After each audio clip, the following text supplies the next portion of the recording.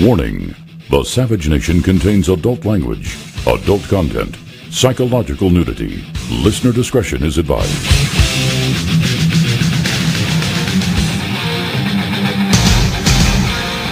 And now, America's most exciting radio talk show, The Savage Nation, home of borders, language, culture. And here he is, Michael Savage.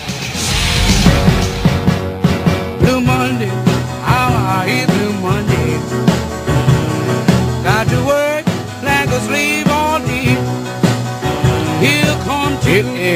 Thank God it's Monday. TGIM. I'm here for you live.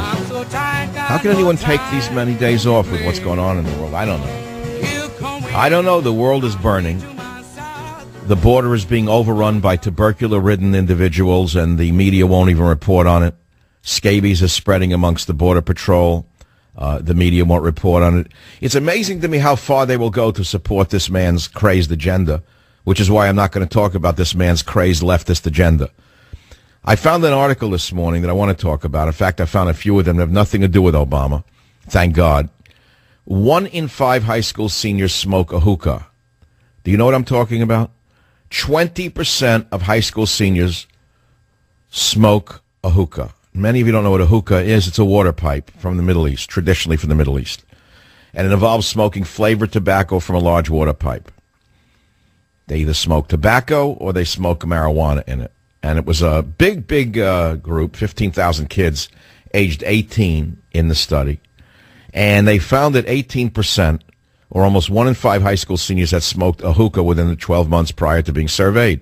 Now, why should that matter to the average listener of the Savage Nation? Why? In New York City, there are hookah bars.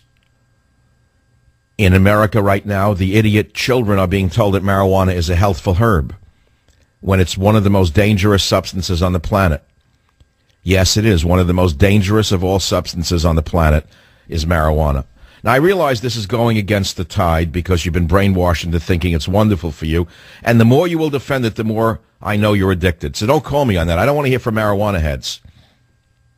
Marijuana will set your life back 20 years, but you don't know that. You must live your life forward and only look backwards. Only in looking backwards can you understand what damage it's doing to you. Now, I don't even want to talk about that. I just want to explain to you how Obama and the Democrats get away with their lies. It's because most of the country is on medication. The seniors are on hookahs, and the senior citizens are on antidepressants, slinging bags of dog waste. They don't know what's going on around them. They don't care. I saw an article today that by 2045, the year 2045, the top species will no longer be humans. There will be computers. It was an article about artificial intelligence. And there's no legislation today regarding how much intelligence a machine can have, how interconnected it can be. And the writer says, look at the exponential trend of computers today. And we will reach the time frame that most experts have been predicting in science fiction. And you'll see that the top species will no longer be humans, but machines. And these are the words of Louis Del Monte, physicist, entrepreneur, and author of The Artificial Intelligence Revolution. And he gave an interview on the subject. And he said at, the, at a certain point, the machines will view humans as an unpredictable and dangerous species. He believes machines will become self-conscious and have the capabilities to protect themselves. He believes that they might view us the same way we view harmful insects. He may think, uh, the, the machines may think that humans are a species that is unstable, creates wars, has weapons to wipe out the world twice over, and makes computer viruses. Hardly an appealing roommate. And he said he wrote a book about this as a warning. As a, as a warning. And he said artificial intelligence is becoming more and more capable, and we're adopting it as quickly as it uh, appears. He said a pacemaker operation is quite routine, but it uses sensors to regulate your heart. Now, here's a shocker. A 2009 experiment showed that robots can develop the ability to lie to each other. Let me repeat that. An experiment showed that robots can develop the ability to lie to each other. It was run at the Laboratory of Intelligence Systems in the École Polytechnique, Fédérale of Lausanne, Switzerland. And the experiment had robots designed to cooperate in finding beneficial resources like energy and avoiding the hazardous ones. Shockingly, the robots learn to lie to each other in an attempt to hoard the beneficial resources for themselves. Del Monte, the scientist, said the implication is that they're also learning self-preservation. Whether or not they're conscious is a moot point. That's a very important article. And it leads us to a topic I would like to discuss with you. And that is how committed you are to devices in your life and what it's doing to you, how technology is affecting you on a daily basis. You know that you are in front of a computer screen or on your iPhone all day long. You know that every few seconds you're checking your iPhone for a message, usually a meaningless message, a worthless message. It's nothing but a group of yentas talking about where they went shopping. I walk down the street and I see girls walking around with their, their hand around a bag and the other hand in front of them. It's, a, it's amazing you don't walk into a car. So I'm going to ask you this. Are you addicted to technology? Do you feel that you're losing touch with reality as a result? And what techniques are you trying to use to deter using technology in your life? For example, my producer went to dinner with his friends the other night. And he said, we all must put down our iPhones right now. And the first one who touches their iPhone pays for dinner. And he said, as a result, they were able to talk to each other. I thought that was very interesting. I thought it was very interesting, and I think it's worth talking about. 855-407-282. There's another article that caught my attention to show you where I'm at, where my head is at. We're talking about technology, artificial intelligence. This disturbed me. It's on my website. I found it on my own website on michaelsavage.com. In England, some university academicians are making the argument that pedophilia is normal for males. I knew this day would come. I knew this day would come. In England, they're arguing that pedophilia is natural and normal for males. The presentation said pedophilic interest is natural and normal for human males. It says at least a sizable minority of normal males would like to have sex with children. Normal males are aroused by children. Normal now. Notice the word normal. Where did this come from? Was it in the back of a porn store in the 1970s? Was it from the despicable group NAMBLA? No. Was it from an underground website? No. The statement that pedophilia is natural and normal was made not three uh, decades ago, but last July. It was not made in private but one of the central statements of an academic presentation delivered at the invitation of the organizers to many of the key experts in the field at a conference held by the University of Cambridge, England. Now, we would expect such things to come out of England. We've long known that they're weak, that the men are all weak in England.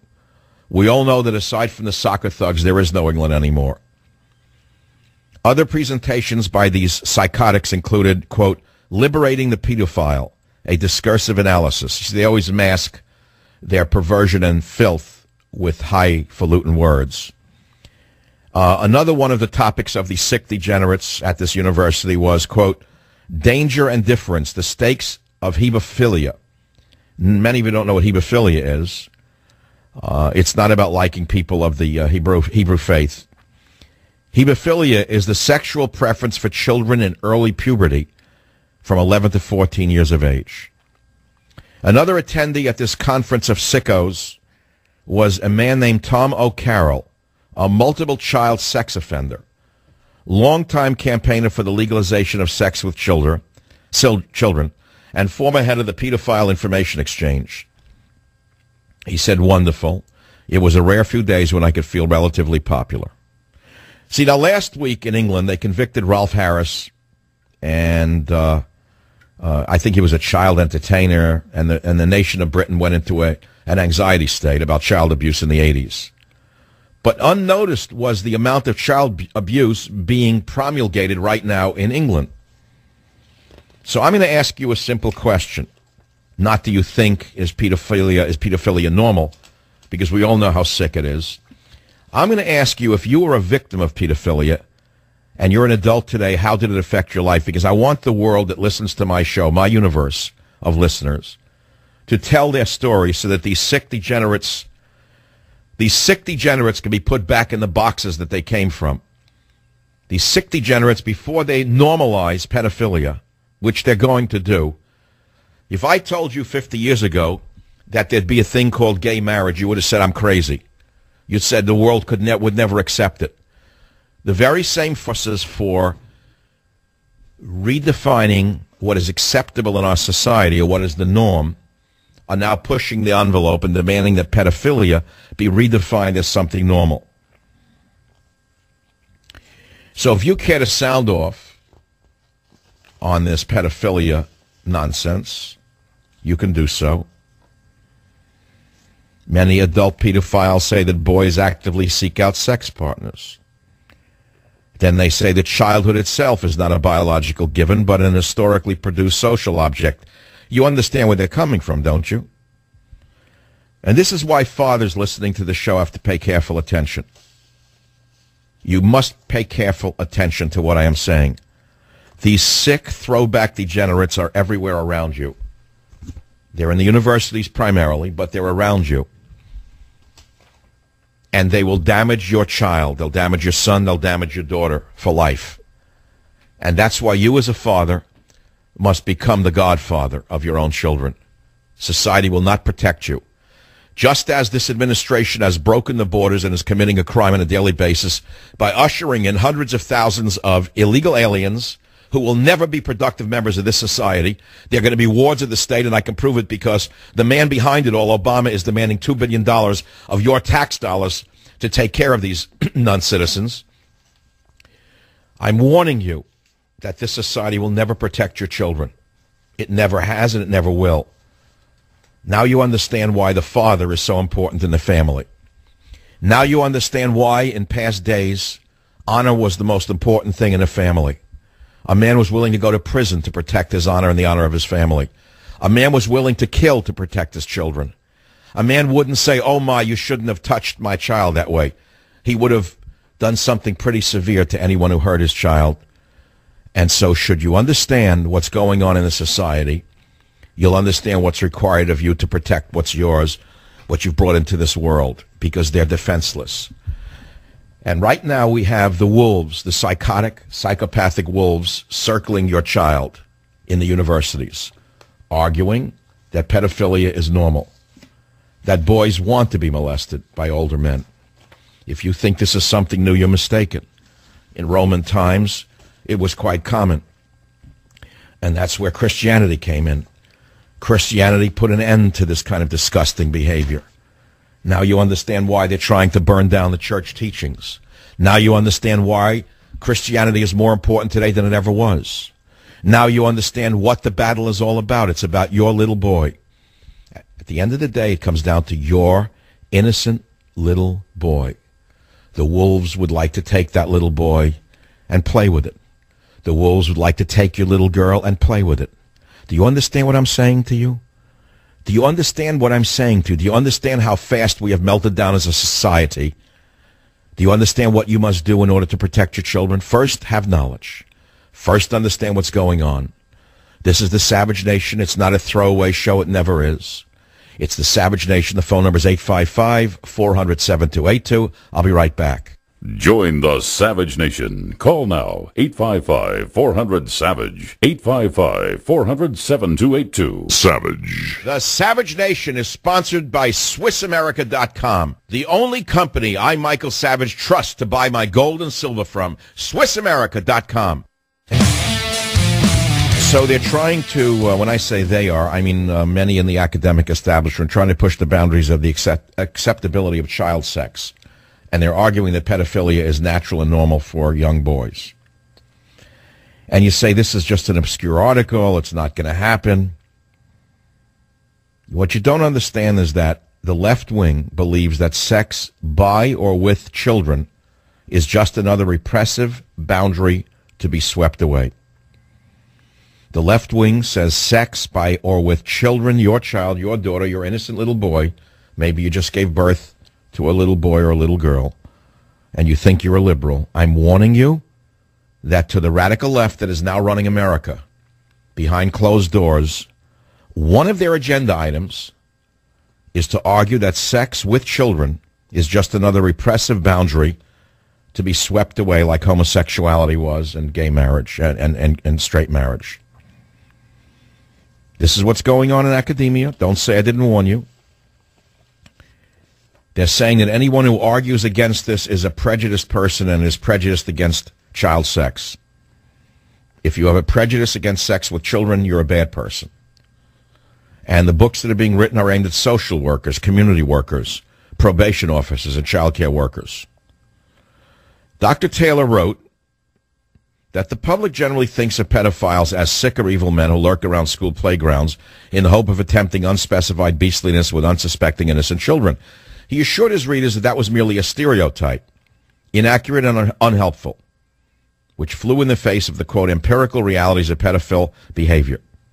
So just as sitcoms now routinely show uh, men living with men and you've accepted it, women living with women and you've accepted it, and then the uh, canned laughter comes in, they're now working to make sex with children acceptable to you. You say it's not true? It is true. And I'm going to ask you to come on this show and explain what it did to you so that you can show arguments to those who are arguing that pedophilia is healthful and normal. WMAL in Washington, D.C. Gene, you're the first up. Go ahead, please. Tell your story. Hello, Michael? Yeah, make it quick, though. I have only a minute. Yes. Yes, sir. Um, just wanted to say that that can't be anything further from the truth. Um, I was a victim of it from a close member of my family, and what it does to a human being, especially a child.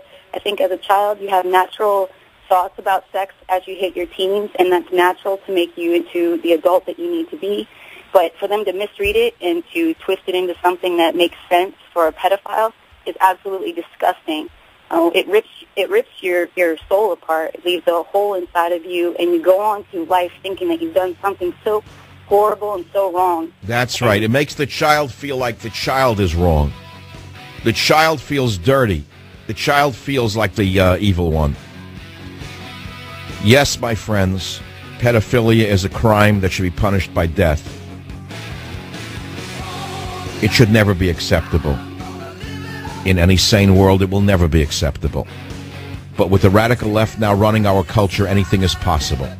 Join the Savage Nation. Call now 855-400-SAVAGE. 855-400-7282. Savage. Here's some news related to the topic. Just today, Monday, Pope Francis begged forgiveness from the victims of clergy sex abuse as he held his first meeting with several abuse survivors. The Vatican quoted Pope Francis as expressing personal sorrow in his homily at a private mass with six victims for the sins and grave crimes of clerical sex abuse against them. So I've raised the topic of pedophilia outside of the church scandal because rife in academia right now is a movement to normalize pedophilia, sex with children. And rather than going on and talking about the psychotics who are behind this, rather than telling you that the American Psychiatric Association, which is filled with some of the most mentally deranged people on the planet, in my opinion, there was a proposal to include sex with children as a disorder. As a disorder. Now, it was defeated, but it was argued and almost won. It's not a, a moral crime, it's just a disorder. And so, what I'm trying to tell you is that, watch out. They're going to be pushing this very rapidly soon because of the meltdown of our culture as a result of the atheist in the White House. When have you last seen Obama go to church? When have you last seen him hold a Bible? When have you last heard him use the word God? He is God. He doesn't need to refer to God. He is God. He's a God unto himself. And so if you think an individual, a leader, has no um, impact upon the people, you're mistaken. Even if the leader is doing it for show only, it's very important that they show that respect for God, even if it's just for the people's sake. But he won't even do that. And so we're talking about you as a victim of pedophilia. I want you to come before the audience of the Savage Nation. You hide your name, of course. We're not asking you to disclose yourself. And I want you to tell the world what it did to you as a person and how it affects your everyday life. And the reason I'm doing it is to build up an armamentarium against these sick, degenerate academicians and others who are trying to push this. It's that simple. So, Jill on WABC, thanks for stepping forward on the Savage Nation. Why don't you tell your pedophilia story? Well, I was five years old. My parents were divorced, and my mother married my stepfather, and uh, she became pregnant. And basically, my stepfather decided I would be a good substitute for my mother. Oh, Um, it only lasted about a year. My older sister caught us. Uh, my mother left my stepfather only for a brief amount of time, and then we returned to live with him. And uh, I, as a small child, didn't realize anybody really knew about it. I sort of Mm. buried it and thought it was my secret. And believe me, the secret and the hatred of my stepfather ate me alive my Mm. whole life. So Now, uh, I, I don't want to. I don't want to dwell on this. Did, did it affect your ability to meet a man and get married? I've been married three times. Uh huh. Now, do you think that your inability to maintain a relationship, of course, is related to this psychic damage, psychological damage? I do because I think I choose the wrong people. Uh, oh, now, okay, this is intriguing to me, and I'm sure it will be to my listeners. You seek out people who what look like your stepfather, or what? Yeah, as a matter of fact, in a couple of cases, that's true. Yes, yes. And do and, do, that's that's really really amazing. So so you made these mistakes. You looked for men who were like your stepfather. They looked like that. He, they looked like him. well, there are also people who are on the outside of society. Uh, I don't mean that uh, as a moral judgment, but let's say more actors, uh, musicians. Um, uh, I don't seem to go for people who would give me um, a steady life and make me feel like I had high self-esteem. I tend to go towards people who are very egotistical, um, and because I feel less than, I believe. Hmm. Well, you seem to be quite knowledgeable about yourself. Have you been able to alter your behavior in any regard? Well, yes, I, I had a lot of help because I did become an alcohol. Well, I am an alcoholic, and I did go to treatment, and the 12-step program helped me a lot. Even though I'm not involved with that program anymore, I have managed finally to stay sober. It's very sad. I guess, Jill, what you're saying is what I'm trying the audience of my program to understand is that this is not a laughing matter. This is not to be taken lightly. Sex with children will destroy them for life. Right. Yes, I, I believe that's true, and you can recover to a certain extent, but I feel L- let me give you some help here. I'm going to give you some help here. I'm going to quote Sigmund Freud, the greatest mind in the history of psychiatry, who has been debased by the same forces that have tried to drive, drive God uh, out of America. They've tried to drive some of the greatest minds of our entire life out of our minds and put in these lesser fools, uh, excuse me, great great fools to replace them. So they drove Sigmund Freud out of uh, out of the uh, textbooks of psychiatry, saying he didn't know what he was talking about. Sigmund Freud wrote that if you awaken one day and find out that you can only crawl on one arm and one leg, meaning the other arm and leg are gone, he said then you crawl on one arm and one leg. Does that make sense to you? absolutely. Now I want to tell that to the to the people listening to the show, many of whom are broken, and they're seeking some kind of answers, whether it be through the radio show or in other ways. They tune in and out of the show, figuring, I don't know why they're listening. It's not just about uh, politics. They're looking for something else. They're looking for something else, and I know it. And the something else is the wide knowledge I have from the many years of reading, and the many years of studying, and the many higher degrees I have the many books I've published. Although I'm not a psychiatrist, I've read widely in psych in psychology. I've read all of Jung, all of Freud, all of Adler. I know all of the psychiatric literature of those days. You say, well, we've gone way beyond it. No, we haven't gone way beyond it. No, it's like going back and looking at the great masters in painting. It's like looking at great art and then saying we've gone way beyond it because someone smeared garbage on a canvas and sold it for $35 million. It doesn't mean it's a superior painting any more than modern psychology means it's superior to that of, of, of uh, Freud and Jung. So the point I'm making is some of the writings, excuse me, were so insightful that they're, they're made for the ages. They were not made for the time. And so when Freud wrote, if you wake up one day and find out that you're so damaged that you can only crawl on one arm and one leg, then crawl on one arm and one leg. That is so comforting to know in an age when everyone is seeking to be perfect, is it not, Jill? Absolutely, yes. And I, I feel I've go, I've moved on with my life, and, and in some areas I've been very successful. But Joe, what I'm trying to say to my audience is none of us are perfect. We're all crawling like a bug sprayed with Raid. And we all pretend that we're gods. We all pretend we're perfect. It's good to seek perfection. It's good to be the strong man or the strong woman. It's good to try to be a, a god or a goddess. But we're never going to achieve it because there's only one God above us, and he doesn't like competition. He made us imperfect, and he made us fallen angels for a reason. That doesn't mean we should then dwell on our weakness. Oh no, by all means try to be strong, but you're never going to achieve perfect strength is my point. And when you realize that you're never going to achieve perfect strength, that you can only be what you can be, and you can only be so good as you can be up to a certain point, that's also good enough.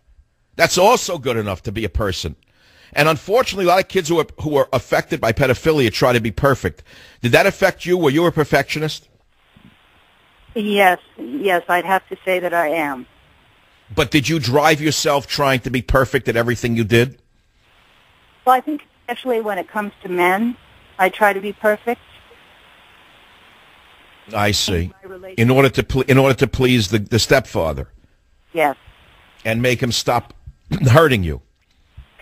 Well, I think to, I feel guilty about the hatred I have for him. I think. Oh, well, no, no. Don't ever feel guilty about hatred. Let, let me tell you right now. Anger is a very important emotion. It's a very healthy emotion if it's directed at the right person. Is he still living? No, no, he's been deceased for 20 years. Do the people around him know what he did to you?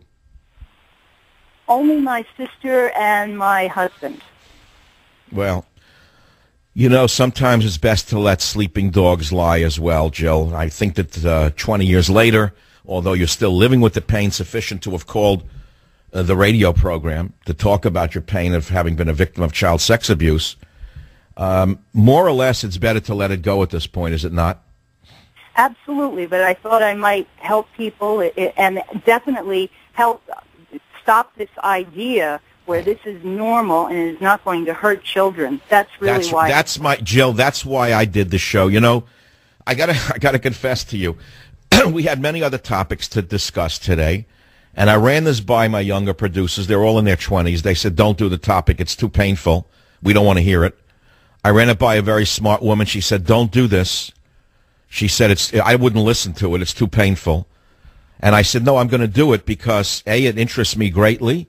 B I think we can stop." the pain in many people who are listening to, to realize they're not alone. And three, maybe, just maybe, we can defend one little innocent child downstream from some sick, evil predator.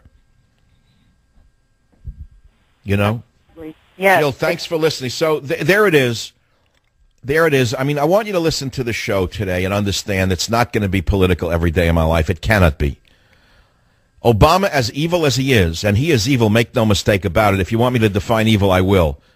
That's a man who wants to transform a society that was imperfect, but the best society the planet had ever seen, with more opportunity for more people than ever seen on the earth before. He wants to transform that into what?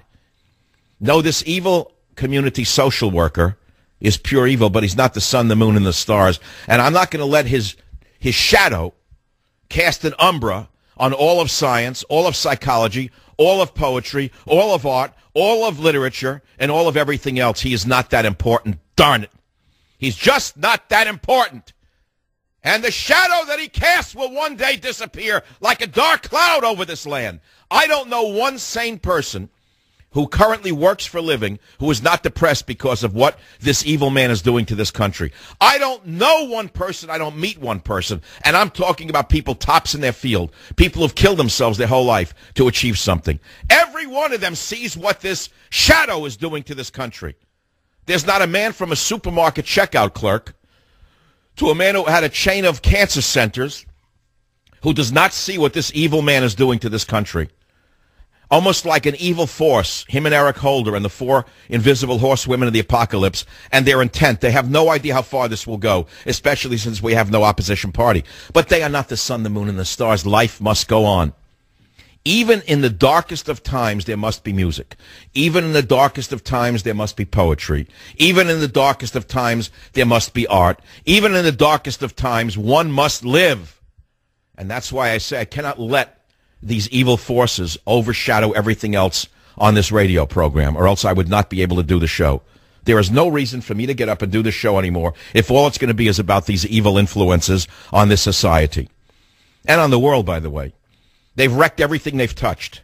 There's not a single achievement of this administration. Not a single achievement to the positive. It's all negative.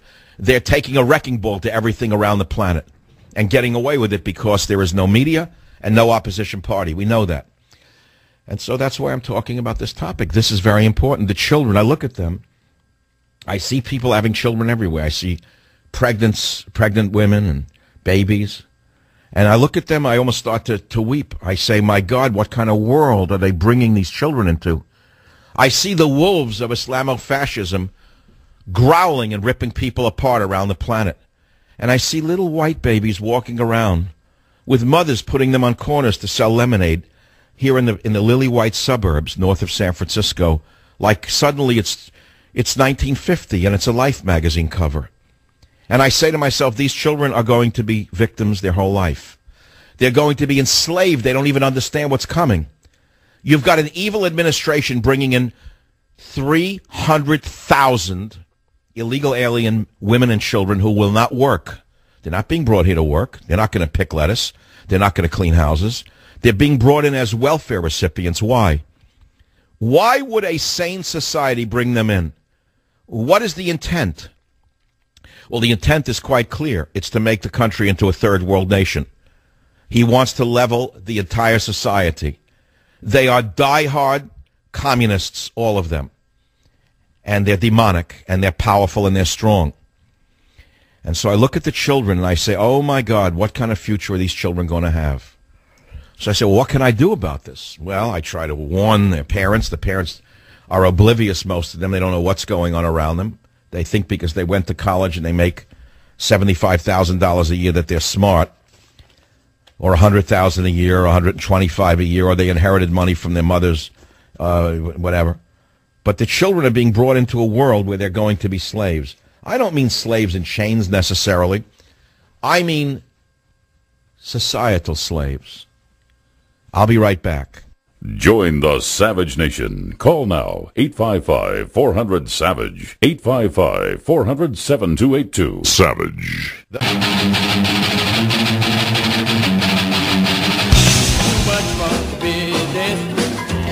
Nation. Take the song I asked for because we have a fill-in uh, board operator, but nevertheless, in England, pedophilia is natural and normal for boys. That's how some university academics are making the case for pedophilia at conferences this summer. Now, it's in England, but it's also in the uh, subterranean texts of the United States of America. What's going on now is that the academic establishment is pushing the boundaries on the acceptability of child sex. And so I've asked you to call to tell the world is a testament to what it's done to you as an adult. Here's an article related to it. And by the way, um, Don, Jay, Noodles, Josh, Keith, please stay on the line if I don't get to you. I'm almost out of time. Here's a news article related to this. North Carolina mom battles Facebook over child photo meant to mimic the Coppertone pose. A North Carolina mother and photographer was temporarily banned from Facebook after she posted a photo of her young daughter's exposed buttocks in what she claims was an innocent recreation of the famous Coppertone girl pose from 1953. Now, Facebook was correct for doing that because there are pedophiles out there who will use this as pornography. I agree 100% with Facebook. The mother is a sicko. The mother's a sicko, in my opinion. She posted a picture of her two-year-old's bathing suit bottom pulled down by her friend at the beach. No, my friends, the world is changing, and there's a lot of predators out there. It's a vicious world. Wake up. Join the Savage Nation. Call now 855-400-SAVAGE. 855-400-7282. Savage.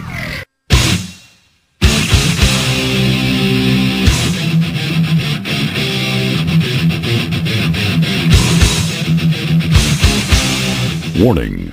The Savage Nation contains adult language, adult content, psychological nudity. Listener discretion is advised.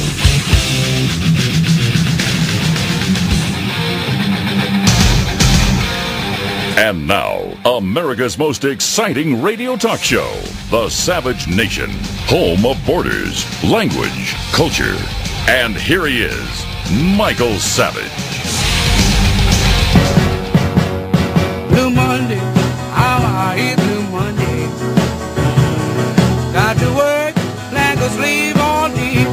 We have huge news stories. The main thing is that Obama has destroyed the border with Mexico, and he's in a conspiracy with the Mexican government to bring in hundreds of thousands of illegal aliens from Guatemala and El Salvador and Honduras, because without the Mexican authorities, this, this would not be happening, as I told you.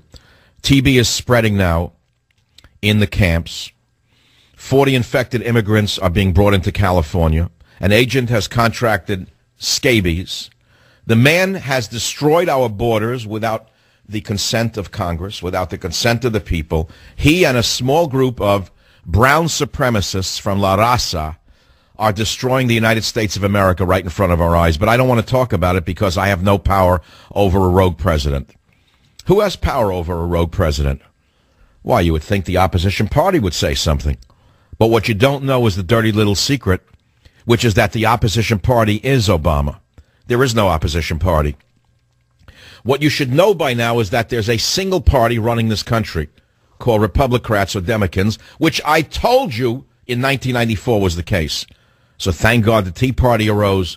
Thank God we almost won another big seat, but it was stolen from us by Thad uh, Cochran, who used Democrats to defeat a Tea Party member. So if you don't think the Republicans are in on this, you're crazy. Nevertheless, I want to talk about something to me which is more personally important to you, which is pedophilia, because in English academic societies in British academic societies, they're arguing that pedophilia is natural and normal for males. At uh, current summer conferences, according to Andrew Gilligan of Telegraph UK, in parts of the academic establishment, there is a movement to push the boundaries of the acceptability of child sex. This is nothing new. The psychotics have been doing this for a long time. And there used to be a group called NAMBLA, North American Man Boy Love Association. There's no longer a NAMBLA per se. They're now working for the Department of Health and Human Services. Oh, yes. Oh, yeah. Many of them uh, have been normalized. They're taken right into the uh, left-wing uh, regime. Oh, yes. They don't have to have a, a group called NAMBLA. All they got to do is work for the Department of uh, Health and Human Services. How many of these children coming in across the Mexican territory uh, have been raped? They say a high number of them are being raped on the way in. So who's pushing this? Well, I don't want to talk about this infected immigrant story.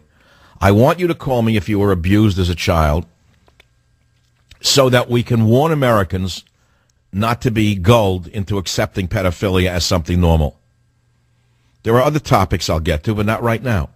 Let's go to WABC in New York City. Louise, welcome to the Savage Nation. Go ahead, please. Hi, I, I come from a large fam- family. I have five sisters, and we were all sexually abu- abused by our own grandfather. And our families turned a blind eye because this was all swept under the rug, even by the church. So every one of us have struggled with some type of substance abuse addiction. I have one sister who has had about 15 suicide attempts. We're all middle-aged. I, I'm in my 50s. Um, none of us can maintain normal relationships with men. And my issue is that there should not be a statute of limitations on this crime. It's a it's, it's a horrific crime because the child, as children, you you are so screwed up. You do not deal with this or even admit to it until years older. I did not Yes. a therapist until I was in my 40s, and I'm hmm. still dealing with it. I'm 56 right now. I, was, hmm. I went out with abusive men. I married an abusive man. I'm divorced. I finally had a decent man in my life for 10 years, and I destroyed that relationship because all my anger was taken out on him. Unbelievable. Un- wait, wait, no, this is a. I have to catch what you're throwing here. This is an amazing story. Lu- Louise, were you able to hold a job in your life? I did. I'm actually a retired. I'm a retired New York City detective. Uh, Unbelievable. Wait, wait, this is so interesting. I don't mean to, to, to stand here and, you know, have fun listening to you. In the, as a detective, what kind of crimes did you focus on? I, I had very, I didn't ha- not have a lot of child abuse. My younger sister is also a cop. She had a lot of that. I had basic, you know, basic domestic violence. But Louise, isn't it interesting that you would have chosen to go into police work? Uh, absolutely. Uh, we, we, most of us go into service work. no, but most- no, no. I'm saying as a ch- as a victim of child abuse yourself, isn't it interesting that you would seek an authority position with a gun in a club? Yes, absolutely. Authority, and also we're there to help because I'm also a nurse. Wow, you sound like a wonderful person. You sound like the real nurse Jackie without the drug addiction. The terrible part of this is that of, of this type of abuse, and what it does to you is you never feel like a whole person. You have that you carry this abuse and mm. what it's done to you for the rest of your life. And Did you hear me in the last hour, Louise? Did you happen to hear my last hour when I quoted Sigmund Freud, who said that if you awaken one day and discover you have only one arm and one leg, crawl on one arm and one leg? Did you happen to hear that? and I love that. And what happens is that, as I said, I have I have family members that have numerous numerous suicide attempts because some people can't survive on one arm and one leg, or it's, or the life is just too difficult. One hmm. thing that I've learned in a, in a group therapy, actually in a rehab, because. Like I said, I'm an alcoholic. I heard you had another woman on who's also an alcoholic. Everyone in my family is addicted to some type of a substance. And I was in rehab with a, a, a man who was abused. He happened to be a fireman, who he was abused as a child by foster parents, um, sexually and physically, and and Catholic Church by the by the priest. He used the word "I'm damaged goods," and when he said that, my eyes lit up because my entire life I feel I'm damaged goods and I'm not good for anyone. And that is how children who become adults, who have been abused by adults that we thought we, we could trust, that is how we feel, that is what we portray, and we hide. We hide our feelings and how uh, people said to me, wow, you really got it all together. They had no idea what was going on inside of us. They have no idea. And Louise, you said it was your grandfather, your actual grandfather? Yes, it was our paternal grandfather. We and, and you live with this forever. It does not go away. Now, wait, he did this to you and all your sisters? Yes, he did. And cousins and his own daughter, my aunt. Yes. Wait, wait, wait. And none of them ever said anything to other to other adults at the time? No, it, this was this old school, and uh, people just didn't talk about it. They swept it under the rug. My But I'm wait, wait, wait, wait, wait. Louise, you, you got you you're telling me so much that I have to grab hold of this. How could so many children keep a tight lip on this? Well, they did. No one said anything. And the only one who did was one of my sisters when she was 13 years old. She told my, my parents.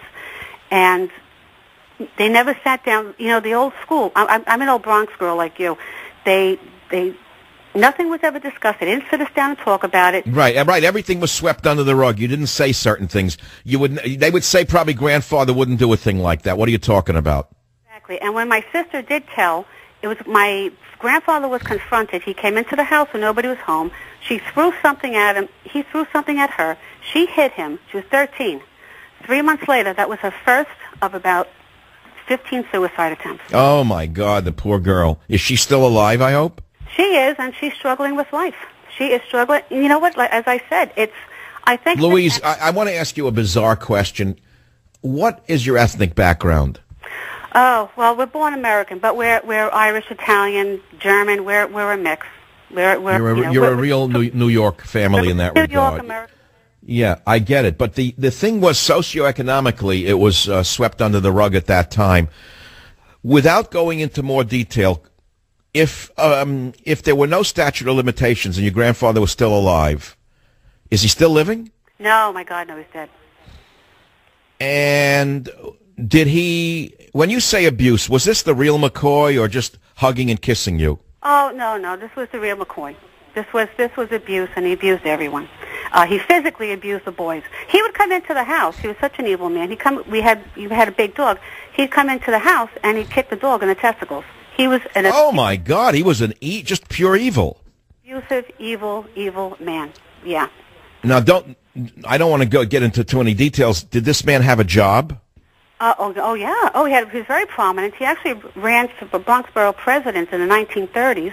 Oh, that about fits. That's about owned- that owned- fits. He owned a real estate business. He was very active in the Catholic Church to the point where he abused. My father remembers this that he abused a little girl in the 1930s, late 30s, And my father said he remembers the woman going to the Monsignor, going to the church, reporting him, I want him arrested, and the church talked her out of it and swept it under the rug. Oh, my God. Well, Louise, I, I'm almost breathless from your pain. To be honest with you, it's painful to listen to you. It's almost heartbreakingly painful. And all I can say is you're not alone. I mean, maybe it's good for you to express yourself like this on a national radio show. Do you feel it's good to do this, or do you think it's somewhat uh, going to be uh, negative for you? I think it's positive, and and I wanted to do this, Mike, because I know how prevalent this is. It is not talked about, and I do understand that it is becoming very acceptable for people to have to abuse and have sex with children and tell them it's okay. And I have children of my own, uh, and they probably I probably drove them insane about people touching them and doing things to them.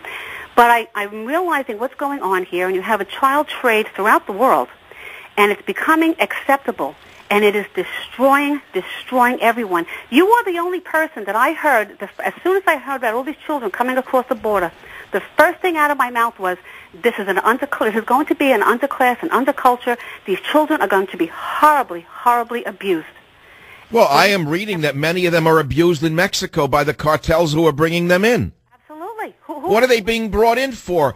Who is going to, what are two-year-old girls going to be used for? What are they bringing them in for? There you go. There you go. Louise, something doesn't make sense here. No. No, I think evil is running the country. Evil is running the world. This is, it's, Yes, I think evil is running the world right now. I think evil is out of control.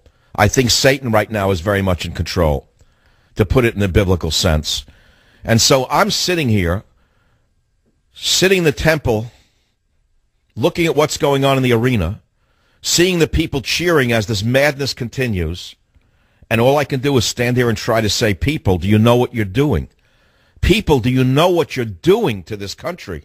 Do you know what you're doing to the world with your insane dash towards freedom and liberalism? Do you have any idea what you've done and what damage you're going to do if you don't stop? And the answer is they don't care. And the band played on. Louise, the ship is going down and they're on the rear deck dancing to the band at the back of the ship.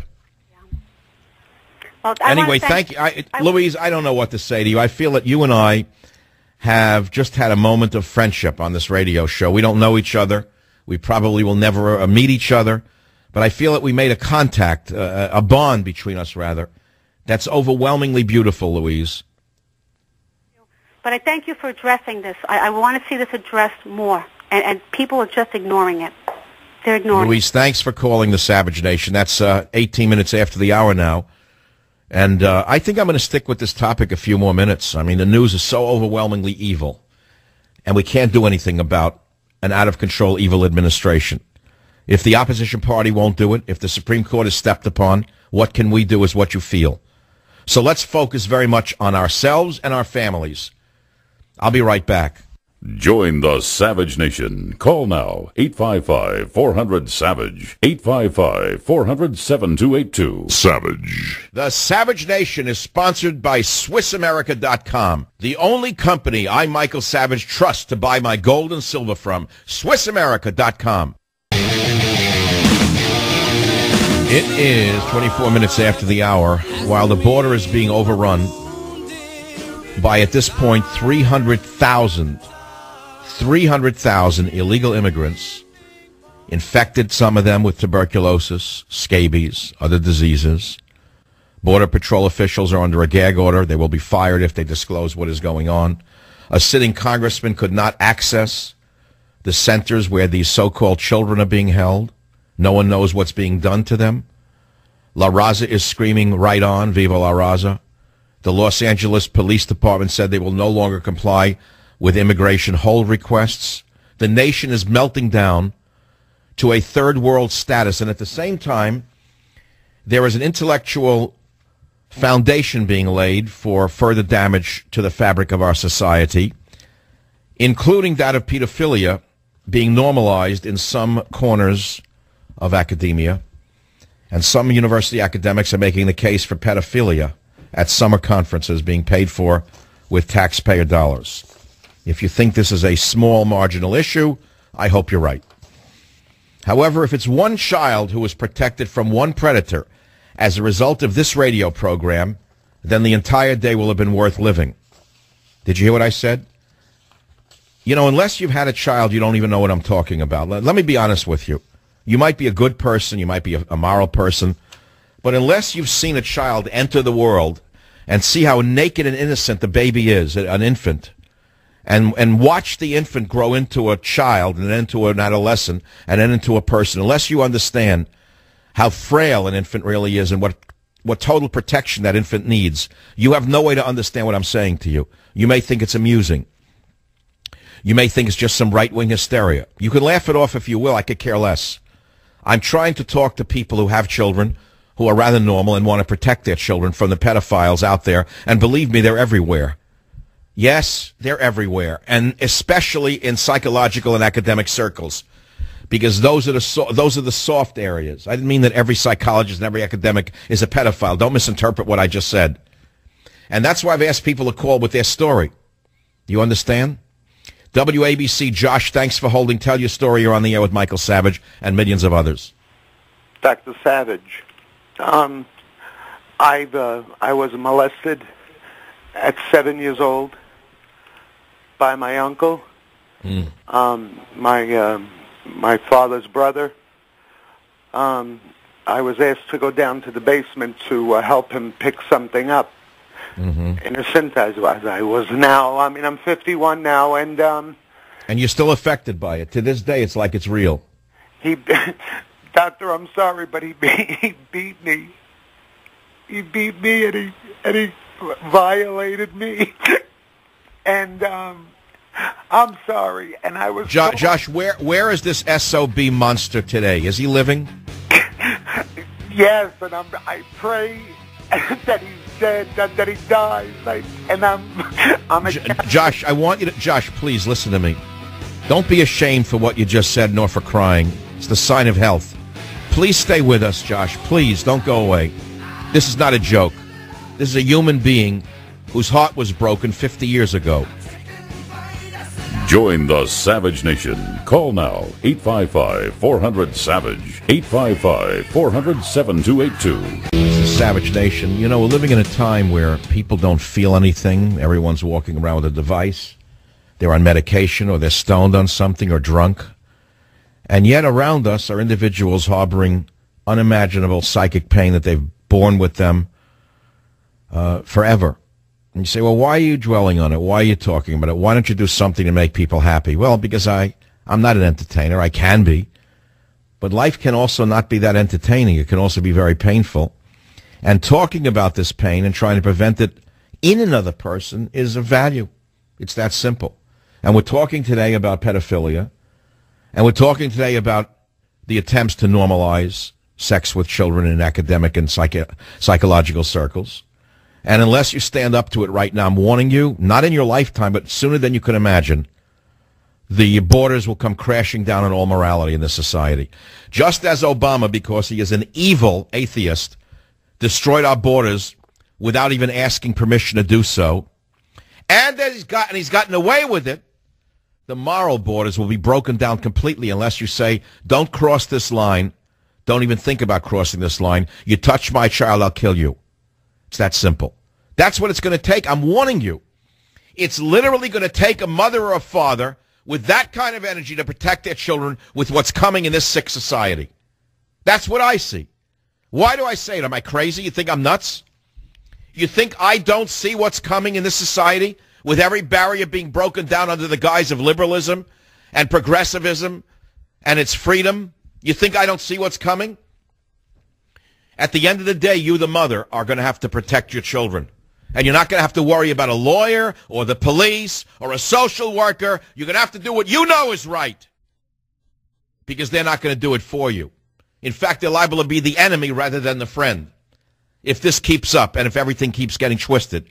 In other words, if Obama could turn the border patrol into coyotes, if Obama can turn the police into the enemy of the people instead of the protectors of the people, if Obama can use the NSA to spy on innocent Americans rather than Muslim terrorists, what might happen tomorrow? The world is upside down. Evil is everywhere. And so I care about the children. And I'm telling you to get ready because they're coming for your children. They're coming inside the schools, It starts nice. Oh, it starts nice. It doesn't start with them saying that they're going to molest your child. It starts with academic studies. It starts with papers, university papers, such as, quote, liberating the pedophile, a discursive analysis, or, quote, danger and difference, the stakes of hebeph- hebephilia. This is how it starts. This is how the devil works. So I'm just telling you, you want to call about this, go ahead. Maybe you can prevent one uh, case of child abuse by calling the show, by calling the Savage Nation. Let's go back to Josh on WABC. Josh, I'm, I'm sorry for um, your pain. You said your uncle, your father's brother, took you in the basement and beat you and molested you? Yes, and um, for for quite a while, and um, he went upstairs, and I was told to stay down there. And um, when I did come up, everyone said, "What happened to you?" I said, "Nothing. I just don't feel good." But I was bleeding profusely from a certain area, and God. um, I washed and I washed in the shower till I burned my skin. Oh, God. The next day, I ran to my Monsignor, and he slapped me all over the rectory because he knew my uncle and said I was evil for even making such an accusation. So oh, my God. How in the world can a child take such pain? 51, and there's certain things in my life that I just can't seem to pass, but through God's grace, I'm trying. But if any child is hearing me, I pray to God that they never go through what I went through because I'm 51 and I I try to stay grounded. But my God, there's so- many nightmares. So many. I was so young, and I'm I'm old now, and I'm I still could smell, feel the pain, wake up at night. I just I just don't get what I blamed my. I still blame myself for the love of God, and I don't know why. Oh, my God. In the basement. Yeah, no, that's the psychological trick here, Josh. The pedophile is the devil himself. And the pedophile makes the child feel as though he invited the sexual interaction. In fact, there are academics arguing that the children want the sex. Did you know that? No. Well, let me read it to you. Let me read it to you. Shall I read it to you?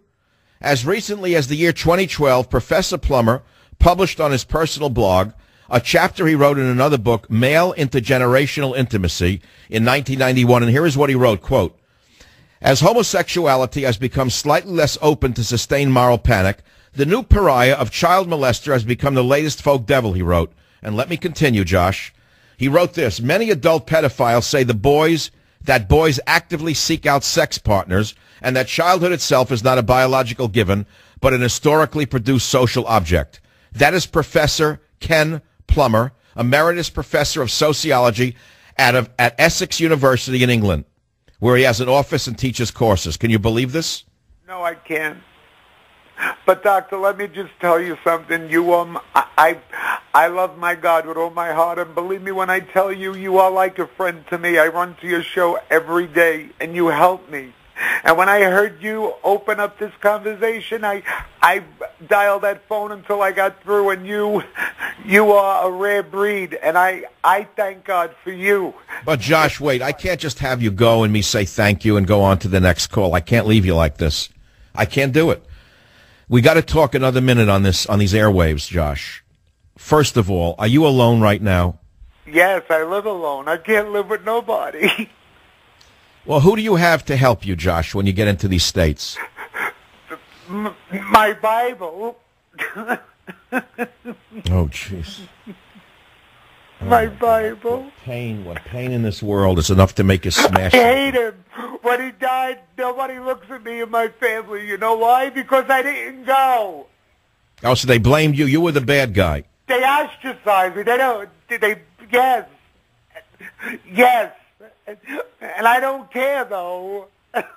Josh, Josh, do you have no, you have no one in your life that you can call right now? I, you, you, Doctor Sam. Yeah, but you. I'm I'm just I'm just a guy on the radio, Josh. We don't know. Josh, have you ever you, you, you've not tried to hurt yourself? I hope have you? twice, but I failed at that. So God wants me here for something. All right, so listen to me. You, you're not in that state right now, are you? Not at all. I just hurt. I hurt when I hear these. It's like ripping off a scab. Well, maybe I shouldn't have done the show. Maybe I should be Oh, guilty. no, no, no! You don't know what you did. You you make me see a different light. You make me know that there's hope, and I'm not the only one anymore. Okay, well, that's the whole point, Josh. You know, you heard a female call who was a detective, a retired New York City detective. Do you know how tough they have to be? And yet she's been walking around with the same hurt that you've had all your life, Josh. I related to her so so poignantly. Josh, related to her. I'm trying to tell you there are people who, if you look at them, what you say when you walk the streets of Manhattan, let's say, or wherever you are, you look and you say, look how everyone is happy but me. Everyone's healthy but me. Everyone has somebody to go to but me. No one feels the pain I feel. You don't know how many others are carrying around this, this cancer. I know. Now I know. Well, Josh, if I can leave you with anything to hang on to, is this. You're not alone. You're not alone. It's an epidemic. It's an epidemic, and your sad story, whether you know it or not, has probably touched millions of people. They will talk about it, and they'll be in tears for, for your tears. Your pain will become their pain. And perhaps then, and perhaps then, they will pay closer attention to their own child. And when their own child may come to them and say, somebody wanted to do this or somebody wanted to do that, and if they're busy on an iPhone or they're busy making an appointment, maybe they'll put that iPhone down and pay attention to that little child. May I just say one thing too before we leave? Oh, please. Believe me, I love you. God bless you. All right, Josh. I'm sorry you have such incredible, incredible, bur- uh, such a burden to carry. Well, a man once told me when I was young is that we all have a cross to bear. Josh sure has a heavy one. I don't know if I should continue the show. I mean, in this manner. I mean, I can't suddenly switch to uh, meatball recipes. I can't do anything light. I can't talk about my dog. I can't talk about uh, immigration because it's going to be very hard for me to move off this topic. I'll be honest with you. You know, what? it does fit my show. If the Savage Nation stands for America's borders, language, and culture, does the word culture not imply a certain morality? A certain morality that was that is a certain part of this nation until Obama came along and broke down all borders and all barriers? Do you understand psychologically that breaking down the border of a nation is the equivalent of breaking down all moral barriers inside the nation's um, mindset? Do you understand what he's intending to do? Do you understand what the left does? Do you understand that they want to kick in every barrier and every boundary without caring what the results may be? They may not even have an agenda. They are just destructive. Do you understand that? Anyway, that's one man's opinion. If you want to continue on this line of thought, we have a little time left in this hour. If you have a story that you think could somehow help somebody and you want to get it out of your system, go ahead. I don't know that I'm ever going to do this show again. I don't know. I don't think I can ever do it again. Maybe my the young guys were right. Maybe they don't like this. Neil, Robert, how do you feel about this show? You can speak on the air. Robert, speak on the air. Tell me what you think. I want you to talk, if you can. Hit the right button though, so don't lock. It's, no, it- it's a very powerful, very powerful topic. That's Neil, that's what I think about it. Okay, Robert, Neil, you're you're there in Dallas Control. What do you feel about the show, Neil? Okay, he's on the phone with Josh. Okay, I'll be right back on the Savage Nation to take your calls. Be here or be nowhere. Join the Savage Nation. Call now 855-400-SAVAGE. 855-400-7282. Savage. You know, every once in a while, we step into subject areas that are unique and uh, difficult for the audience. And this is one of those days. And we've heard from three or four people whose pain was so overwhelming, especially the last gentleman, that I'm afraid that there may be hundreds out there listening who are in tears right now, whose old wounds have been opened up, who the scabs have been ripped off. I'm going to give you a national crisis suicide hotline if you feel crazy, shaky, nuts, can't go on, don't know why I feel this way. 800-273-8255. National Crisis Suicide Hotline, 800-273-8255. Write it down. Don't laugh. 800-273-8255. Don't laugh. Psychic pain is worse than a broken arm. Psychic pain is worse than a broken leg. Because a broken arm or a broken leg will heal in time, while psychic pain never heals. It's an injury that never gets better. Never. All you can do is manage psychic pain like this. You can't cure it. Some days are better than others. Some days you can ignore the pain, the rape, the molestation, the mild touching, whatever it was. Just passes through your mind and you can laugh it off and say, I'm an adult now. It happened a long time ago. Uh, Uncle James didn't really mean it. Well, no, Uncle James really did mean it. And Uncle James should be uh, dragged into a, a jail right now, into a court. Uncle James, no matter how old you are, Uncle James should be turned out. But beware, because these feelings can be very damaging to you all over again. 800 273 8255. This is the Savage Nation. America's borders, language, and culture are our normal fare. Today we're talking about the normalization of pedophilia. Why? Because it's in the news. It's as simple as that. And as the show develops over the summer, I hope to do other topics that are a little not off the beaten path because they're very much on the beaten path of life, but they're off the beaten path of talk radio. I'm not going to get up here every day and read the Constitution to you or the Bill of Rights. I'm not going to sound like a Marxist professor who became a conservative late in life because it made money, wearing a dirty brown suit from Robert Hall with a tuna fish stain in his lapel. I can't do it. I'm not going to do it. I've always been a poet. I've always been an artist, and I've developed. And at the end of the day, poet and art are critical to my show. So I'm going to try to incorporate the poetry and art of our lives together. It's that simple. Politically, you know where I stand. Politically, I see what's going on. Politically, I see a monster in the White House. A monster surrounded by mother, other monsters out to destroy everything of any value in this country. I don't have to read it as a headline in the Daily News to know what he's doing. Do I need some sicko at the New York Times to tell me what I know is? I don't need them to tell me what is. They need me to tell them what is. But I'm not going to do it every day. I'm not going to do it every day because we no longer have a nation. We have an oligarchy that's out of control, that's out to stampede this country into a third world status right in front of our eyes. If a sitting congressman from Oklahoma, a former Navy combat veteran and a pilot, tries to get into a, a holding center where they have these children from El Salvador and Guatemala and Honduras, and they won't let a congressman in his own state, what the heck am I supposed to do if we have a lawless administration? Tell me what I'm supposed to do. If a Navy combat veteran, now a congressman, was barred entry into a child detention center with these children, a crime. A crime by this administration. A gang! A gang! A gang! A gang! A gang! If Meyer Lansky took over the country, he would have done a, a better job. If Meyer Lansky took over this country, he would probably be a more patriotic gangster than what we have right now. But what can I do about it? I see the truth, but I can't do a thing about it. Where's God when we need him? Where's God? Where's God right now? Where's the God that we need right now to save us from this demonic situation? It's as though the devil himself has taken over this country. You know, if I was alone in these think in these thinking, I wouldn't even do the show anymore. I think I'd gone crazy altogether from the from the pressure I'm under. But I meet people. I have very few people, a few people close to me.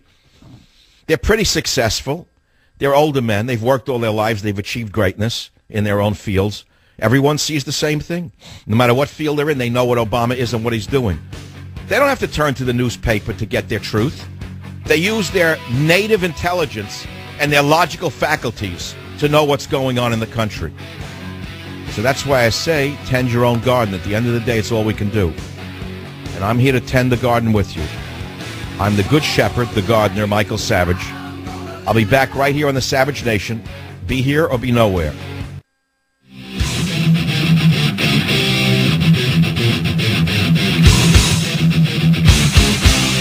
Warning. The Savage Nation contains adult language, adult content, psychological nudity. Listener discretion is advised.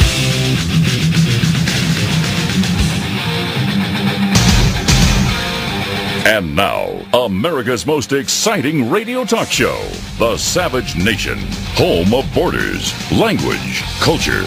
And here he is, Michael Savage. Blue Monday, how are you, Blue Monday? Got to work like a slave all day.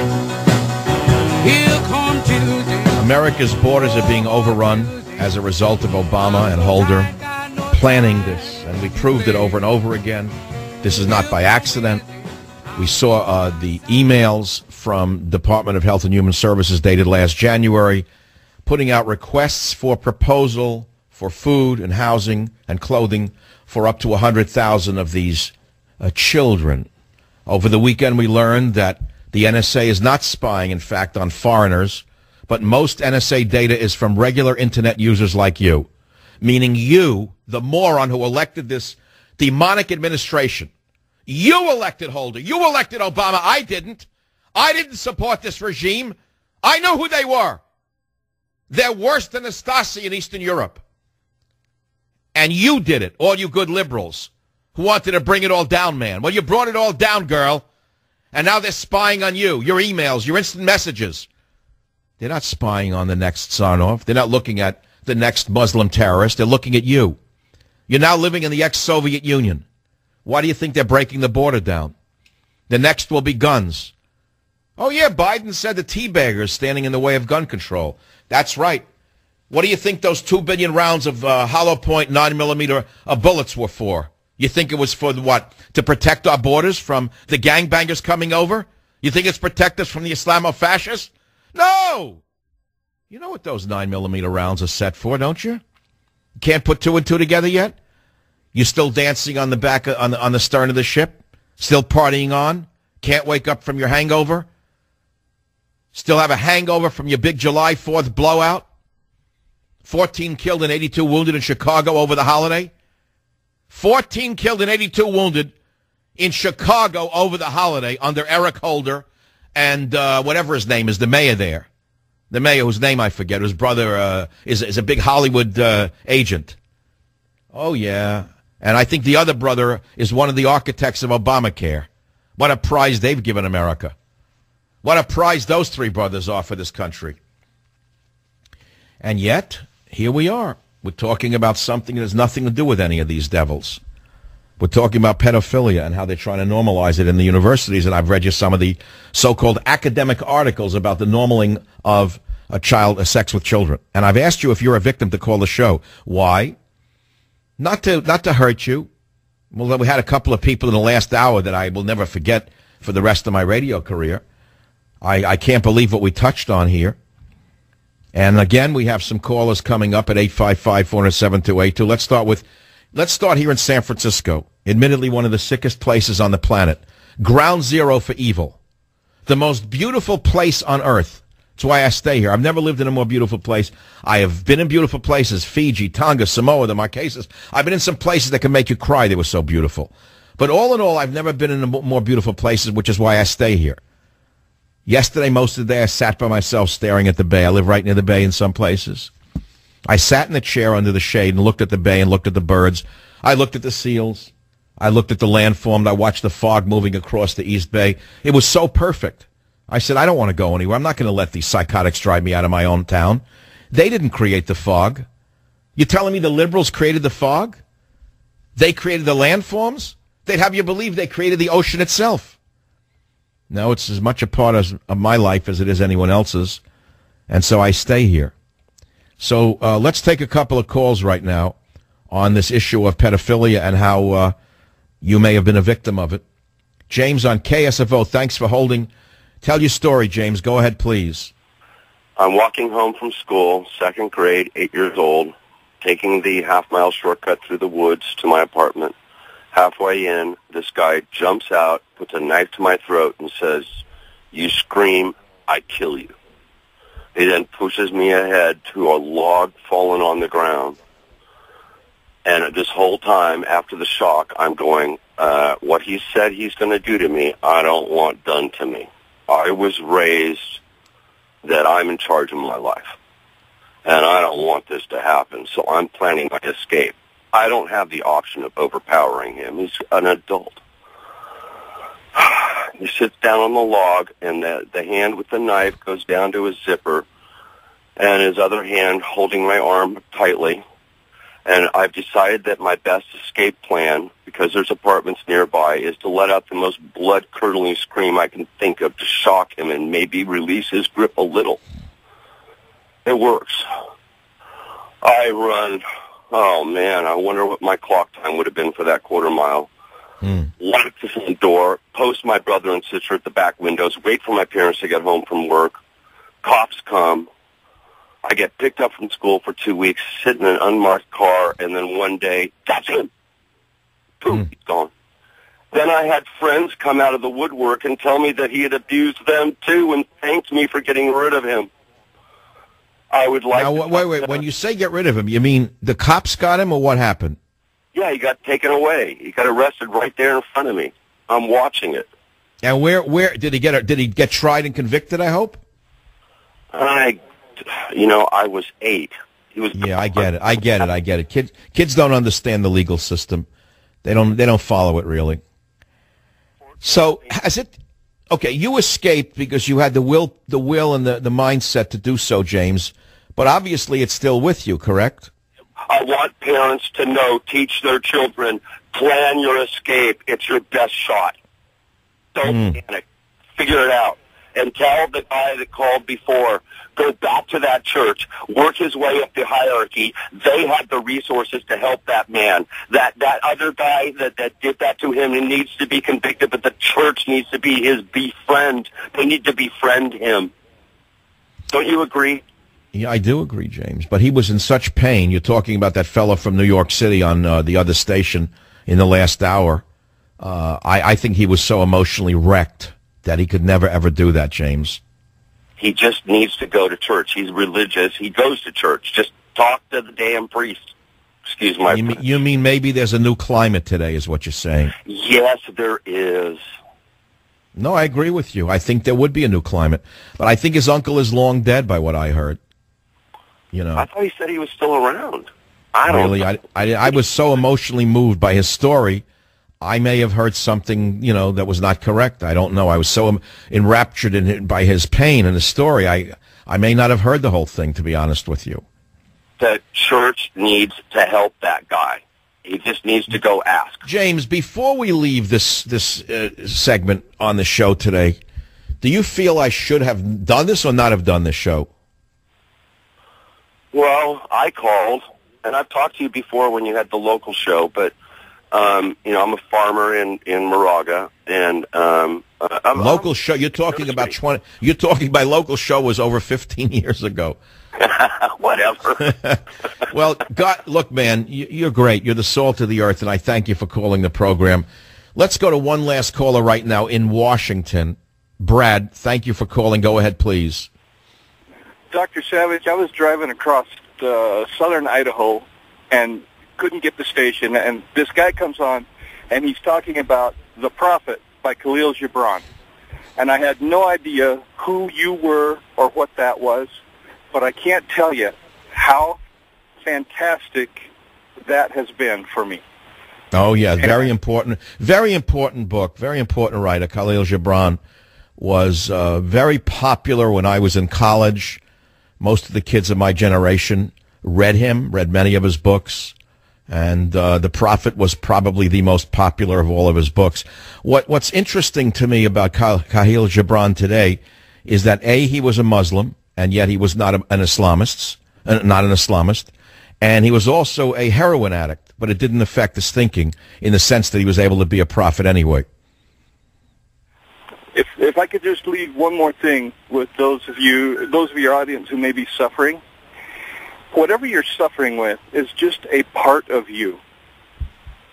It's That's right. That's right. It's not your whole. It's not your totality. but we get sucked into it, and we think that's the only thing we. That's right. And I could I could go a step further, which it's like a headache. Uh, a a headache is not you. You are not your headache. You are not your cancer. You are not your heart attack. You are not your diabetes. How many people do you hear say my cancer or my heart attack or my diabetes? They've taken it in as a part of their being. Instead of rejecting it as not a part of their being and, and pushing it away, they actually take it in. I think that's what you're saying. It's an interesting uh, form of mental jujitsu to deal with disease and pain, isn't it? It is. It is. And if I can leave one more thing, that Khalil Gibran helped me with the emotional side. A book called The Seed of the Soul helped me with the intellectual side to be able to think of things in abstract terms or, or instead of emotionally charged words. All right, as long as you found peace and it helps you cope every day, that's the object of literature. Uh, that's the object of art. That's the object of anything on earth that we seek in our culture. And I thank you for talking about that uh, invisible radio show by that unknown broadcaster many years ago. Uh, and I'm that man. And that's why I'm telling you that there's much more to life than the evil that is emanating out of the uh, Oval Office. Yes, there's evil emanating out of the Oval Office. Oh, yes, it has a, a, a hard intent, but I can't talk about it three hours a day, 15 hours uh, a week. I won't do it. There was more to the world than Eric Holder and Barack Obama, uh, Michelle, and all of them uh, when I was young and when I was a young man. And I, there'll be more after they're gone. Once they're out of office, and I pray to God they are, I pray we survive uh, the next election, let alone 2016. I do hope so. Uh, I hope my worst nightmares don't come through. True. But once they're in the past and America can digest what they did to us and we start the long road of recovery, there'll still be uh, other things on earth that are worth talking about and, and worth doing. And that's why I'm trying to do it today. You understand? 855-400-7282. Let's take another quick call on this subject. KSFO, a man named Noodles. Welcome to the program from San Francisco. Go ahead, please. Uh, great topic, Michael. Thank you. Um, it's a pleasure and an honor to contact you. You have both feet on the ground and you're way ahead of the curve. Uh, uh, Noodles, you're breaking up. What is your main point, please? Well, I'm not a childhood victim of abuse. I was a man. Okay, I can't hear you. I'm sorry. Very bad call. Not because the man was bad, but the connection was bad.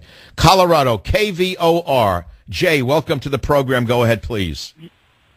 Yeah, Michael. Along with the incredible, uh, you know, pain and suffering, it is the what happened to me was the hatred I felt as a small child. You don't, you know, understand what hate is until something like that happens to you. Mm. And uh, it's just, you know, so many sleepless nights, and, and I'm a very strong man, and uh, it's just. But but I'm saying you you you've lived with this your whole life, and you're, you're coping with it to this day. The the child molestation. Yeah, uh, I mean, I'm an accomplished individual. I'm a scientist like yourself, uh, physically gifted, mentally, but you know, I have a, a family, and to see my son so innocent and gifted, and what that was. That's right. That's right. And you have to protect your son literally with your. You have to be willing to protect your son with your life, because society will not do it. Our society is so perverse right now that it will probably turn on your child and you'll have to protect your child from the society. I'm not just making that up. Take a look at Child Protective Services and which side they're on. They're usually on the side of, of, of wrong, not on right. That's what I've discovered in my life. Imagine my family being in that type of situation. My my children, they're so innocent. That's what I mean. You look in their eyes. You look in your in their eyes. You see them being born. It's something that changes a man forever. You know, the average guy is uh, a fun-loving creature when he's young. All he wants is to run around, have fun, you know, have sex, whatever. And having a child, you ask any young man once he has a child if he if he's a sound person, it usually changes their life for the better, doesn't it?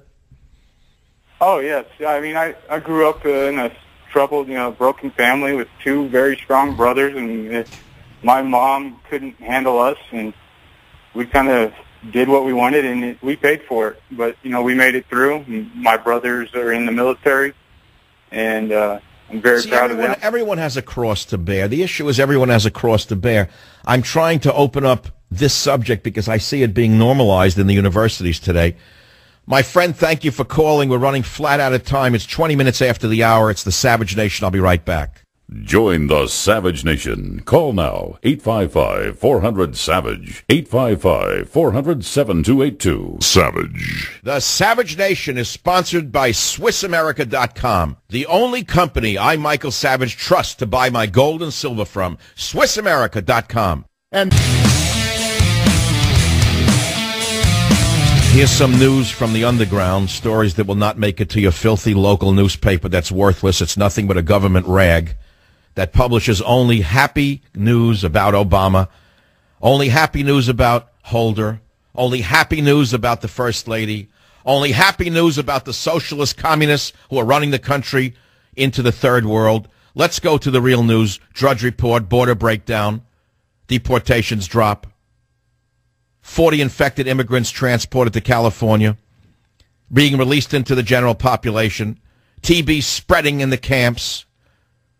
Scabies. Scabies spreading amongst Border Patrol officers. Border Patrol officers under a gag order from the new brown shirts that are running the country. HHS has put out rules for reporters so the useless vermin in the media will not even ask question one. China's now saying it can defeat America in battle. 18, 82 wounded and 14 killed in Chicago under our great uh, leader, Eric Holder, and uh, whoever the mayor is there. Biden demanding gun control, saying only teabaggers stand in the way of gun control. School nutrition group turns on Michelle Obama. You get the picture. Go to Drudge Report for the rest of the headlines. There are other sites that I go to every day. WorldNet Daily is my partner on my website. Go to WorldNet Daily. Take a look at what they have up there. It's not all depressing news. You want the real news? Or do you want to read the, the, the, the, useless stuff that uh, the San Francisco Chronicle puts out? They don't even report on the border incident. To show you what irrelevance is, they are the epitome of irrelevance. The San Francisco Chronicle has become the epitome of what is irrelevant in the United States of America. But that's an old story. This is the Savage Nation, America's borders, language, and culture. I'll be right back. Be here or be nowhere. Join the Savage Nation. Call now 855 400 Savage. 855 400 7282. It is the Savage Nation. It's a sad world we're living in. A lot of people are very depressed. We have a demonic administration out to destroy everything of any value in the United States of America. I know you don't want to accept it. Many of you think it's not that bad. But you know, I know an awful lot of intelligent people who see it that way. None of us collect welfare. None of us collect a dime from this corrupt government. Most of us are accomplished either in business or science or medicine. Everyone sees what he's doing and what his intent is. We see the intent. We see the actions. We see the results. We see the meltdown in the Middle East. We see the meltdown on our borders. And so, again, I'm making it very personal. We're talking about other topics. If you want to talk about the news that I touched on, you can do so. Or if you want to talk about the issue of being, having been molested as a child, the phone number is 855 400 7282. KSFO San Francisco. Glenn, go ahead. You're on the Savage Nation. Go ahead, please. Hey, Dr. Savage. Uh, I'm in North Carolina now, but I grew up in Potrero and Sunnyside District of San Francisco. Right. And um, I was a altar boy at a church in San Francisco. Mm-hmm. We were having evening mass, and then I messed up the the post communion ringing bells back in the '60s when we had that.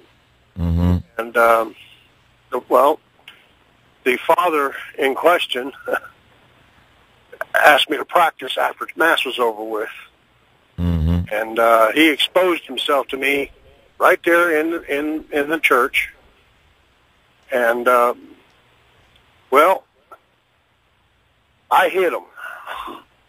I was only 12 years old, but I hit him twice in that nether region between the front and back of where you Good sit. for you. Good for you. Apparently, you were raised to be a man at a very early age. My father taught me a little self-defense, if you will.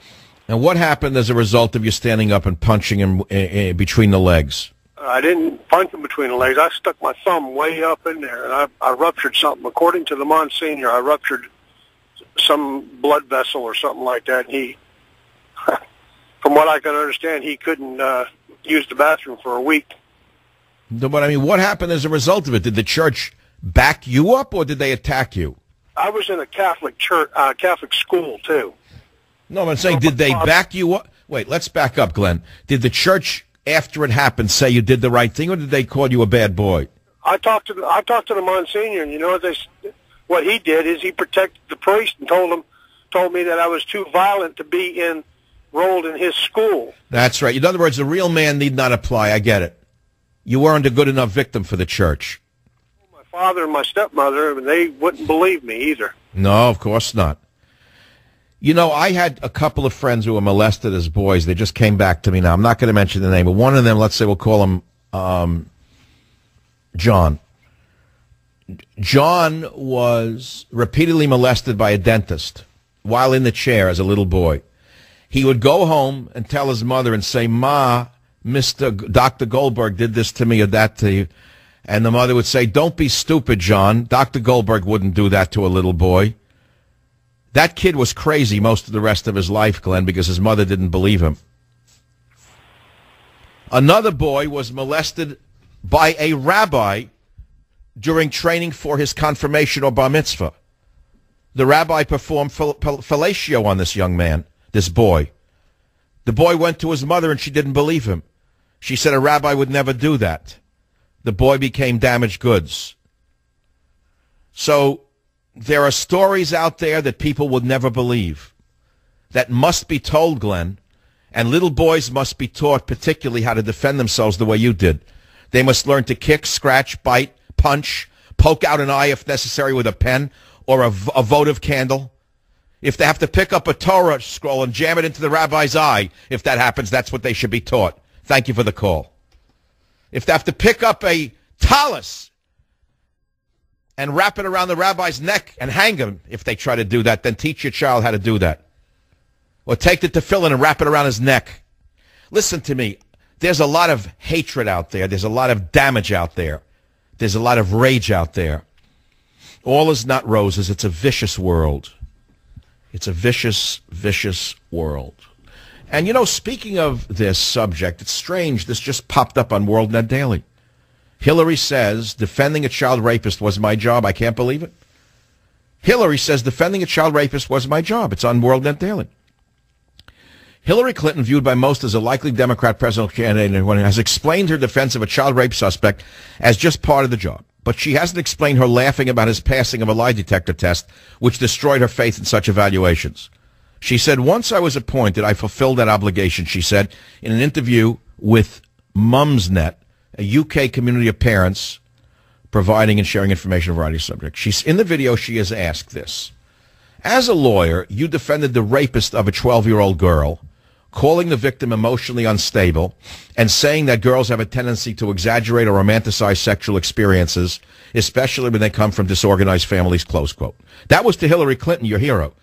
Comments? Then Clinton said, when I was a 27 year old attorney doing legal aid work at the law school where I taught in Fayetteville, Arkansas, I was appointed by the local judge to represent a criminal defendant accused of rape. I, I asked to be relieved of that responsibility, but I was not. And I had a professional duty to represent my client to the best of my ability, which I did.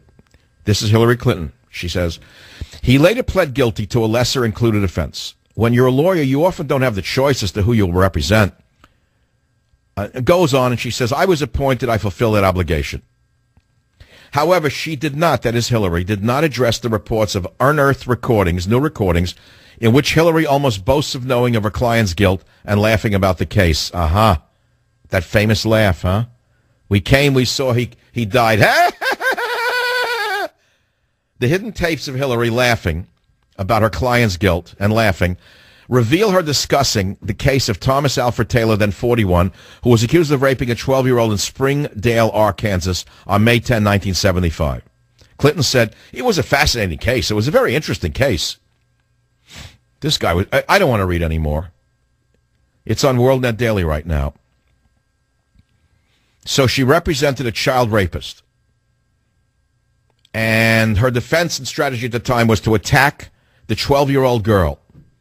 Hillary Clinton submitted an affidavit that said she was told the girl was, quote, emotionally unstable and was viewed as having a, quote, tendency to seek out older men and engage in fantasizing, close quote. That's the first woman president right there. Hillary Clinton additionally said the child, quote, in the past made false accusations, and Hillary Clinton said she exhibited an unusual stubbornness and temper when she does not get her way. Hmm, these records are available. Just came out today. It's all on WorldNet Daily. Isn't that interesting? We actually have a full interview of it uh, that will play for you tomorrow on the Savage Nation of your first woman president. How do you like that? You mean all women are not compassionate and kind and wonderful and Nope. Hillary defended a child rapist and said it was my job. How do you like that? Who would have thunk? Who would have ever thought that Hillary Clinton would do a thing like that? Oh, well, you don't care anyway, because after all, it's important to have the first woman president. That'll sure work out well. WMAL, Jeff, welcome to the Savage Nation. Go ahead, please. Yes, Dr. Savage. Thank you for taking my call. I've been listening to you for 20 years. Well, we've never got the third hour here, man. I told your call screener we need the third hour here. But it was in guard. And he he went impotent before he could really violate me, so he basically just broke every bone in my body. Oh. And, but uh, I'm telling you, a lot of people are saying to you, I'm talking to you, everybody's saying you shouldn't have done this show today. Let me tell you. Uh, and when I was a kid, I'd go in the kitchen at night and turn on the light, and all the cockroaches would scatter. What you are doing on your show today is you've turned the light on, and all those cockroaches are going to scatter, boy. I'm telling you, the the reason they get away with it, the reason it happens, is nobody does anything about it. They tell they'll tell you, the, oh, these poor souls are sick, they're ill, they're all this stuff. Yeah, I can I can cure the sickness and illness, but anyway. Are- No, no, I hear you. So you're, are you saying your father hurt you? Uh, yes, sir. He hurt me and nobody else, and every and this. Uh, uh, did I tell anybody? I didn't have to tell anybody. His, he he got off better when he had an audience, and his favorite audience was uniformed police officers. Uh, he was he was high up in the federal government, and he had a photo ID tag, federal government employee, so he could do what he wanted to to me anywhere, in front of anybody. And see, they get so high up, and they get such incredible, important, great records that you know when they're accused. Yeah, yeah. In other words, they think they're above the law. In other words, they have a feeling of of uh, power that's beyond comprehension, and they can't be hurt. They become the untouchable. But what do you do when you have a president who thinks he's the untouchable and breaks open the borders and says, "I didn't do it"? What do you do with a man like that? Well, what you do, you shine the light on him. So Uh, well, it's not stopping him. They're coming over the border in the hundreds of thousands now. They're putting in goon squads. Obama's sending down a goon squad to to quash the protesters. That's right. Obama is sending down goon squads to crush Americans with American flags who do not want to be overrun uh, by illegal aliens. He's sending down the goon squads. It's going to get very interesting. Unfortunately, some days I wake up and I say, you know, I'm writing a book coming out in October called Stop the Coming Civil War. It wasn't just hyperbole. I really fear it. I'm trying to tell people that the only chance we have is to throw the Democrats out and send a strong message against socialism to both parties. But this is escalating so fast that I don't even know if we'll be a whole nation by September or October. I believe that Holder and Obama are so intent on busting the country up that there's things coming over this summer that we can't even imagine. I think it's going to be a very hot summer. You got human trafficking coming over the border. There are reports right now that they're bringing Chinese girls over as slave labor to work in restaurants and God knows where else. Top of Drudge report again, which is linking, of course. He didn't make up the story. He posts the link to the story.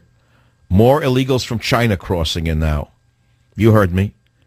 More illegal immigrants from China crossing the border. Border Union officials see more Chinese nationals in the Rio Grande Valley. The postings are now in Spanish and in Mandarin. Si neces- necesita ayuda, oprime el botón rojo, ayuda ilegal, que dice aquí, and then in Mandarin, which I do not read, Mandarin and other uh, dialects of the Chinese. Mixed in with the Central American illegal immigrants are Chinese nationals. Mixed in with the children are Middle Easterners disguised as uh, Hispanics. Mixed in with the contraband may be fissile material. We are watching the meltdown of the great America. It is not a ball game. It is a nation that is dying in front of our eyes. Dying not of its own accord, but because somebody wants it to die. I'll be right back. Join the Savage Nation. Call now 855 400 Savage. 855 400 7282. Savage. Well, as we come to the end of hour number three on the Savage Nation for today, Monday, July 7th, in the year of our Lord 2014, here is some of the amazing sound production that you may have heard today or may have missed today. The Department of Homeland Security Secretary said America's priority is not our border, but to do right by the children. Can you believe this? We have to do right by the children. Uh, I have personally encountered enough of them uh, to know that we have to do right by the children. But at the end of the day, in the final analysis, our border is not open to illegal migration, and we will stem the tide. Can you believe that a Homeland Security Secretary of unknown background would say that the children of a foreign country have a higher priority than our borders? Well, sure you can.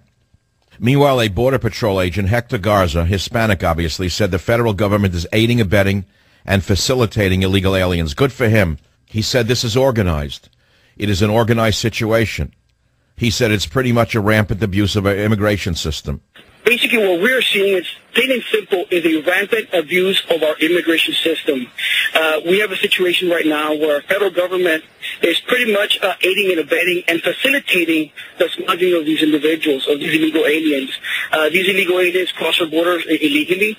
Uh, we apprehend these uh, these illegal aliens that pretty much surrender themselves because they know that they're getting a free pass. This is an organized, it's an orchestrated uh, situation. Uh, it's, it's orchestrated by the drug cartels, and, it's pretty much a, a rampant abuse of our immigration system. That's a Border Patrol agent. Good for him. Stand up to this. Meanwhile, a CNN talker blames the hot weather for the residents' anger over the influx of illegal aliens. I swear to God. I swear to God. You've got a town hall filled with furious people. You've got people stopping Border Patrol from doing their job and, and with trying to get these buses through. Yeah. Is this a boiling point? What is going on? Well, look, I mean, we're we're hitting the height of summer, and and that frankly, that when when the heat rises, political passions tend to rise. One of the reasons we see town halls hijacked at different recent points in our history. Governor Perry says Obama is failing his constitutional responsibility to protect our border. Good for you, Governor. So as a result, the border between the U.S. and Mexico is less secure today than any time in the recent past. My message to President Obama is to secure this border, Mr. President. Finally, address this issue and secure this border. We have a constitution that clearly enumerates the powers that are supposed to be dealt with by the federal government. McCain said he'll work with Hillary if she is elected. No kidding.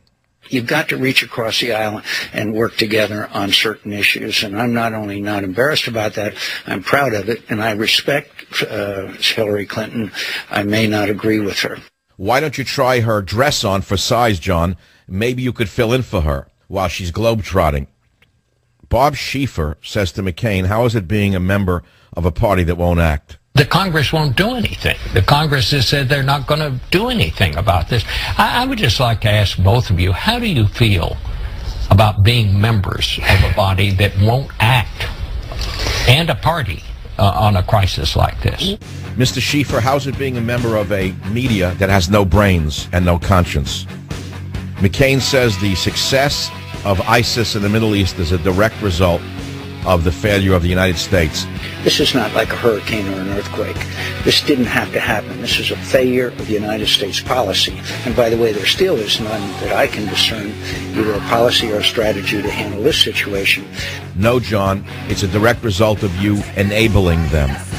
Those are some of the sound bites from today's Savage Nation. Savage.